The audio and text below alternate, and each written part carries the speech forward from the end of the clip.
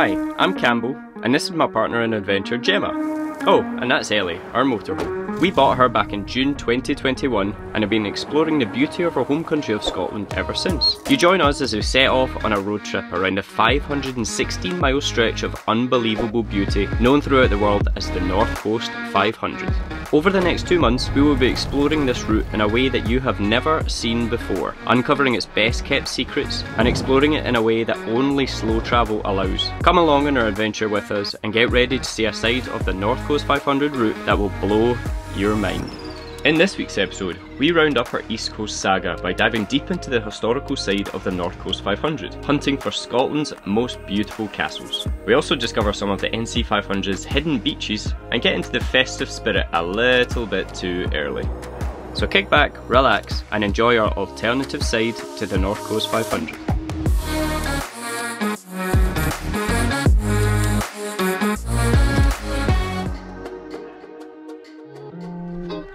So our next stop isn't actually one we're expecting to make at all because the last time we were doing this road trip, about five years ago, we thought you had to actually pay to get into this area so we never actually came, we completely neglected it. And it's a castle that sits just north of Dornoch. It's called Dunrobin Castle. It's absolutely beautiful. I'd say possibly one of the most impressive castles that you will see in the North Coast 500. And yeah, as Campbell said, the last time we came, got some pictures from the front, walked around the path round to the beach and got some pictures of it from like way over there. We are like watching everyone going in and check these mugs paying to go into a garden. Turns out it's free, or it is Whether just it now was then, anyway. I don't know, but Yeah. It's absolutely stunning. There's a huge complex out the back, huge big park, loads of little like garden bits, a water fountain, and it all views up onto the actual castle itself with its kind of fairy tale spires and everything. Very, very beautiful place to come and visit. Now, as beautiful as Dunrobin Castle just may be, as you guys know if you've been watching our channel for a while, we always prefer castle ruins just because we feel like they're a bit more mystical, magical, and it really lets your imagination run free. So as beautiful as Dunrobin Castle is, it's not our favourites on North Coast 500. Which of course begs the question, what is the best castle on the North Coast 500? Let's find out. So we've just driven into Caithness, we're on the east coast of Scotland and do you know I'm actually really surprised because it's so so quiet on the roads. We've been reading online about how busy the North Coast 500 has been but I think we've really hit the nail on the head with coming at the end of summer because yeah the roads are really really quiet and hopefully the sights are too. Oh, it's alright. Oh it's not too Not too bad. So we've just actually driven past the Whaligoe steps and my goodness, I take back what I said. The car park looks absolutely rammed. So we are parking at the Cairn of Get um, and we're just going to walk over. It's possibly about a 10-15 minute walk. I actually remember we parked here the last time that we came to the Whaligoe steps. Definitely. I'll actually show you the car park in a wee second. It's this beautifully peaceful little spot. There's an older, older couple sitting having a picnic over there on our left. And it just looks beautiful. So yeah, definitely recommend park here and then just take a walk over to the Whaligoe steps instead. So that's a beautiful little pond. Very tranquil. So yeah, the Whaligoe Steps are our next stop, and as Gemma said, it was looking very busy. I was kind of expecting that to be honest, as I think it's one of the more popular stops around the North Coast 500, especially in this area. But I read online that the upkeep and repair of them is actually done by the houses that are just uh, sit above them. So I think it's like local volunteers, which is like absolutely insane when you actually see them. But what a view to start off this little bit of the trip. Sun shining. And so that's the signpost you're aiming for. And this is how busy the car park is actually at the Whaligoe steps.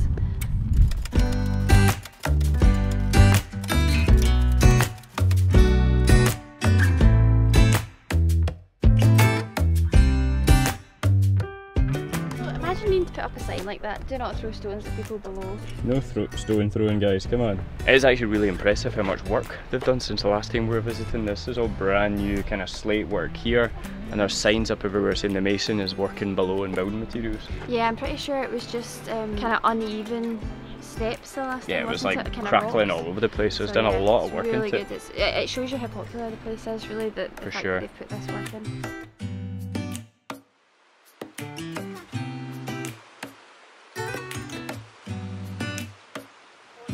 This used to be the old boating winch that I guess they would have used to actually bring the boats up onto the shore at kind of lower tides to be able to store them up on these rocks. Where it literally feels like a kind of land lost in time down here. It's a towering cliffs all the way around, like a cathedral, I guess, to nature. and all you can hear is the waves lapping on the shore and a little bit of a trickle of a waterfall just in front of me. It's a really, really beautiful place.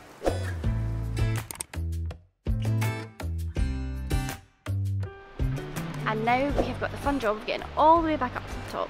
So we'll see you guys there. And just 10 minutes down the road, we arrived at our next stop. The road is actually a lot rougher than I remember it being. We had to drive along it at like one mile an hour. It's like being back in Australia again against all these kind of untarmacked roads. But we're absolutely starving now. What is on the menu, babe? We can have a wee snack. Well, technically we've not really had lunch yet, and As I'm usual. not risking going anywhere near that little bakery without some food in me. So we've got some leftover sourdough bread that we had for breakfast, and to be honest, I'm just gonna make toast. That bread is so good. Discount Yeah. sourdough. So before we head out to the castle of Old Wick, we're just having a little flick through this book. Photograph, photo, photographing, photographing, photographing, photographing, photographing Scotland. Why couldn't I get that out? This book is amazing. We are literally using it as inspiration as we It's go our Bible. around. And it's got a section of Castle of Old Wick in here. Really good. Tells you how to get there. Tells you the viewpoints that this guy shot at. Even tells you the shutter speed and That's right, exposures yeah. that he's used in the focal lengths. Like the guy's a legend. Really, really good. Yeah, really, really, really good book. Highly recommend that. So we'll actually put the link in the description below so that you can go and buy it for yourself. Highly recommend. We're actually using it as inspiration for the book that we're writing ourselves. It's given us some good ideas of where to go and shoot. Yeah, we're hoping to try and make the, the our North Coast 500 guide that we're writing like aesthetic and as photogenic and also packed full of like useful information. If you've been onto our website, we're told all the time that our guides are like some of the most in depth on the website. So that's all we're trying to do is just put that beside some beautiful, beautiful photos, and that is helping us loads. Yeah. Shout out to Dougie Cunningham. Dougie Cunningham. What a legend. Yeah. Just walking away from the car, actually, I remember how much of an overhang there is. That's crazy. You see it more when you actually get round to the other side. But I remember looking back across here and just thinking, "Oh my God, do not walk over there." you do want to hug the wall. yeah, be very careful when you're coming along here. From the car park, you can actually uh, walk all the way round. There's a little gorge that kind of splits the land that the castle sits on in two. So it's on either side. There's just like a vertical drop of about 20 meters down to the sea.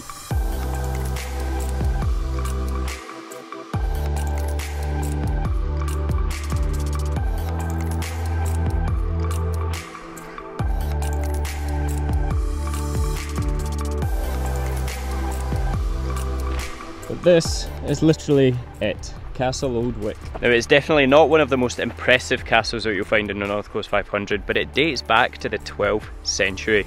So it is very, very old. And to think that they're constructing these kind of three and four story buildings back in those days with nothing but their bare hands is impressive in itself. Today, however, it's just the ground floor that's remaining. You can kind of see the other floors once you get in and actually going around it. I think there's scaffolding in it just now.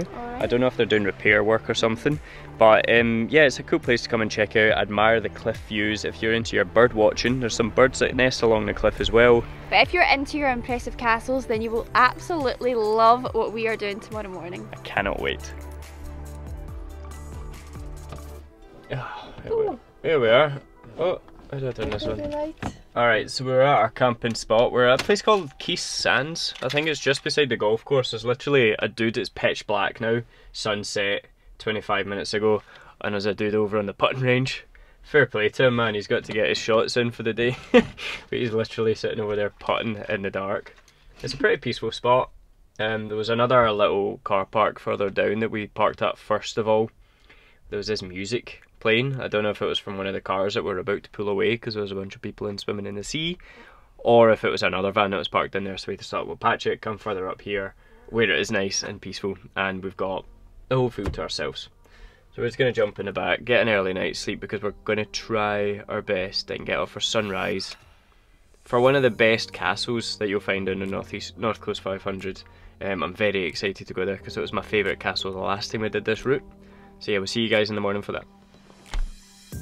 Okay guys, so I just wanted to interrupt whatever nonsense is happening at this point in the video to tell you all about an exciting announcement that we have been waiting for weeks to share with you. Yeah, we've teased at this a little bit, but we're so excited to announce that we are writing a book. This book is all about the North Coast 500 road trip in Scotland, and it's about how to travel it responsibly and sustainably. We're going to be going into depth about all of the lesser known sites along this route that we can only have acquired the knowledge of over the last two months from basically living on the northern coast of Scotland. We're opening up pre-orders today, so hit that card up above if this is something you're interested in and want to read more about. We can absolutely guarantee this is something, if you like Scotland, you're not going to want to miss out on. But that's enough about this for now, let's get back to today's adventure.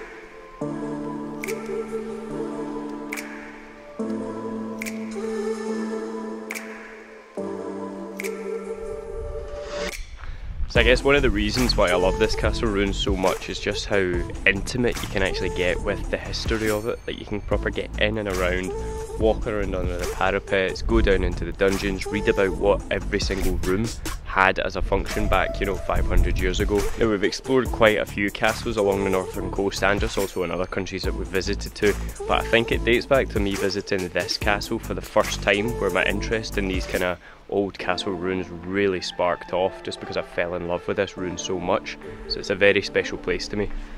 And it is one of the other reasons why I love this castle is the kind of pictures and the amount of effort that's gone into actually explaining what its use would have been for. And they've even got their own little bakery. There you go. Oh look at that, all the bed, bed. Oh I want bed. look at that, all the bread baking in the oven. Honestly, apologies to anybody looking at me in that video because I've just gone on to do an Instagram story and realised that I very much still have bedhead. I haven't even looked in the mirror this morning. I haven't even touched my hair. It's alright babe, not all of us can have as gorgeous locks as me all the mm-hmm. time. I just roll out of bed looking like a model. Beautiful. I should put my hat on. I don't know how people live in vans that don't have a shower. Speaking of which, let's go home and have a shower. Absolutely. Come over here. I did hear this castle was haunted, by the way. I can only assume that someone's come down here in the middle of the night and had their pants scared off. oh god. Watch out guys, bring a spare pair of pants if you're going to come here in the middle of the night.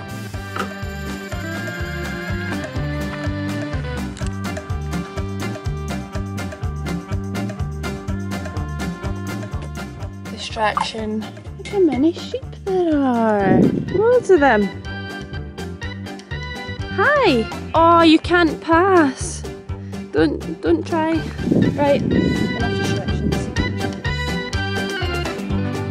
Well, how's the lighthouse? It's pretty pretty, yeah. Good. Nice shot. Nice shots, yeah. The sky's beautiful. Now. Good. So what's the next stop? Mm. It's a very good question. I'm thinking with my belly, I'm thinking porridge. Absolutely, the shower's heating up. So coming into winter, we're properly starting to love our warm porridges for breakfast. What we tend to do is just kind of soak the oats the night before. Um, just kind of half and half, half oats, half milk. And then we just leave it overnight and it just makes such a deliciously kind of thick, creamy porridge. A little bit of peanut butter in there and then just drizzle it in fruit and it's just amazing.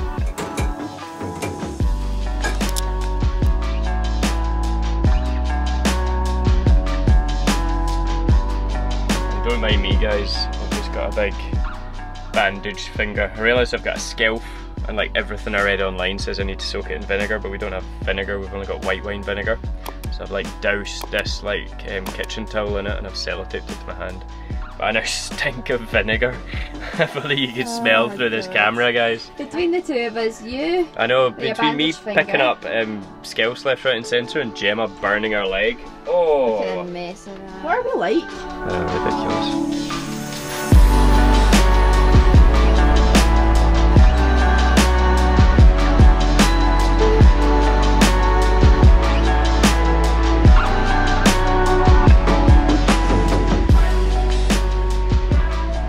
And we have just found an absolute gem of a park up. Now, I'm not sure exactly where we are, I haven't actually checked the map yet, but it's in between Keiss Beach and Keiss Castle. Would you be um, tempted to say that we were in Keiss? Ah! yeah, that would be right, we are in Keiss. okay, so this gem of a park up is in Keiss. And yeah, you pay a £10 donation at the Village Inn and get electric hookup. And there's toilets as well. And we're all about the hookup because we really need to charge up and it's it's really difficult to run a generator. I have to say every time we turn it on I get a little bit mortified. We do do it in like areas where there's no one else around. Yeah. If we can get electric hook, hook up and we just pay a ten pound donation, it's a winner. Yeah, let's go. Look at how neatly packed away that cable is. I know, I I want to see that. I want to see that in the exact same position when you're done with it. I want to see that I did that. But Everyone knows who did that. I know. That end goes yep, now Gemma. And it's ruined. Thank you. All of that hard work, man. Bosh. It is always such a good feeling when we find somewhere with an electric hookup for as cheap as £10 where the toilets are there as well. We've got an empty toilet and we've got full. It looked as if there was a water hose actually, so maybe tomorrow morning we could fill up on water. Yes. Um, and then we just need to find somewhere to empty a toilet in the grey water when that becomes full as well. So we're going to batten in for the night here, get some work done. We've got a lot of stuff to do. I need to get this weekend's video sorted. You've got another couple of blog posts to get done. So. I'm not gonna lie, like we managed to like split our stories and our videos a lot so that we don't have to bore you with a lot of the behind the scenes stuff. But it has been A lot. absolutely manic I know, recently. it's like ridiculous. it's um yeah, literally dawn till dusk graft, isn't it? Yeah.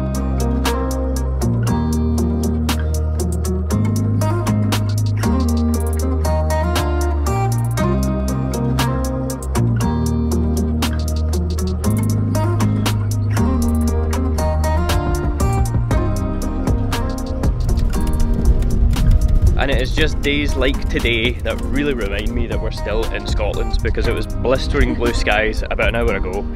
And since we've come along to Duncansby Stacks along the cliffs, it's freezing. It's There's really just suddenly this northerly wind blasting us. We had to put our jackets on and everything. But we're coming along to see our last stop of the day.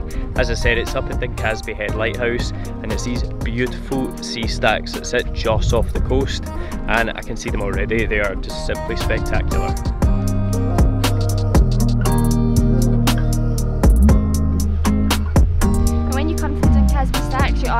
An area where there's livestock. So you just have to be very mindful of like the sheep and the animals that are roaming around. And please don't distress them because it's just not necessary.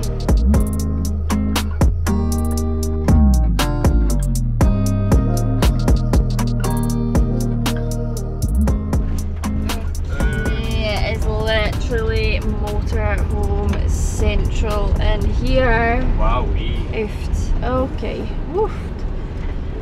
Oofed. maybe How many times can we say oofed? But my goodness, this is busy. I reckon we might need to park somewhere else and walk to the toilet. To be honest, babe. Toilets are just there. I know, but where we're gonna park? Oh yeah, true. Yeah. Yeah, so I think it's fair to say that once you get round to the north coast of Scotland, especially John O'Groats being a really main tourist area, it is jam packed and it is now 16th of September. Wow. and this is what you can expect if you want to get a photo with the John O'Groats signpost. It's extremely busy and it's like the middle of September, so prepare to queue. I really don't know about that queue, man. I think we can do without a photo. We want to go and see some other plenty. sites. We've got the colourful houses over there. We can take a nice picture of some models instead, but my goodness, this is one of the most popular sites. But you know why? I think I know why John O'Groats is actually so popular. And that's because it's Christmas every day in John O'Groats. Promise I'm excited. Very excited for the first Christmas in the van. Christmas is just around the corner. Coming up, just around the bend. I like that. It's got a wee bell. That's very You'll hear us coming. That just asks the question where we're going to put the tree in the van. Um, We just need to get a roof rack and we can put the tree up on top of the roof.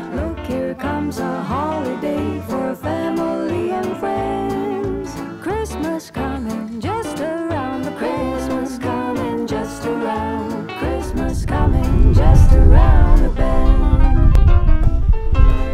I think Scotland has the most beautiful beaches in the world. Like, look at that. Just pure white sand. And nobody on it because the water's freezing. Exactly. Makes it even better. Got it all to ourselves. Yeah, we were basically driving along trying to find somewhere where we could, you know, pitch up for the night and kind of end this video off here. And we just couldn't resist stopping in it here. It's literally just down the road from Duncansby Lighthouse and we just saw no one was on it. So what better place than this Ah! to end the video? than watch Gemma get sand in her socks. So much and yeah, I cannot think of a better place to sign this video off and end our East Coast road trip. And I think this is a perfect welcome to the northern coast of Scotland because this, I'm guessing, is exactly what we've got to look forward to. And it's got it's what you guys have got to look forward to as well. If you want to see more beaches like this, join the gang, hit that subscribe button and make sure you tune in next Saturday for the next YouTube video. We are so excited to see what else we have coming our way. And if you enjoyed watching this guys, please give it a big thumbs up to let us know that you liked it. And give us a comment and let us know what you think was the best site. Basically you guys hitting the like button just lets us know that you're enjoying the videos and that we should keep doing what we're doing and it really means the world to us and yeah we cannot wait to see you guys again in the next one. See ya.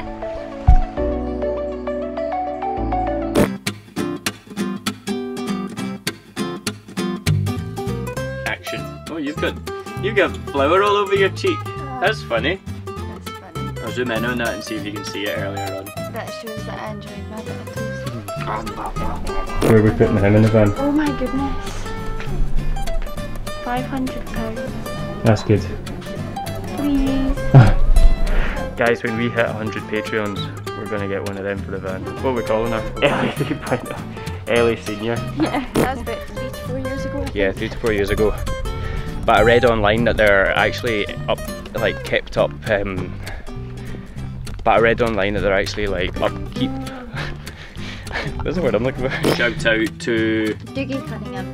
Dougie Cunningham. What a legend. Yeah. And this is not just the North Coast 500. In fact, there's not really an awful lot of the North Coast 500 in here. In comparison to the rest of Scotland, you get everywhere.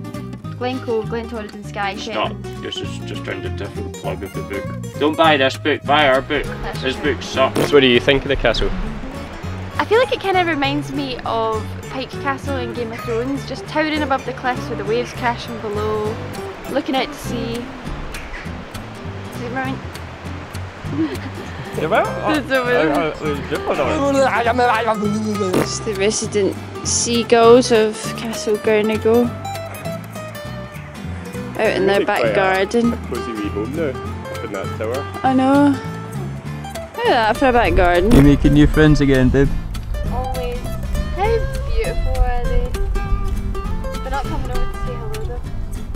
How rude.